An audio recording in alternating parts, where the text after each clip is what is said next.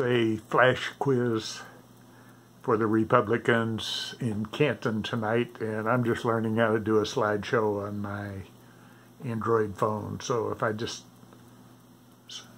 so who's to choose? That is the question. If you're a slave, it's probably not you. If you're a sovereign, you're free to free to choose. What do the first lines of the Bible and America's first law have in common?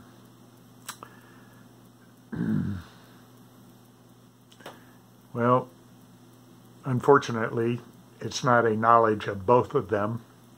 Everybody knows the first sentence of Genesis, or should, but nobody knows the first sentence of our first law, the one that mentions the laws of nature and of nature's God. So this is what uh, Madison had to say about the Constitution and the laws of God. The future and success of America is not in this Constitution, but in the laws of nature's God upon which the Constitution is founded.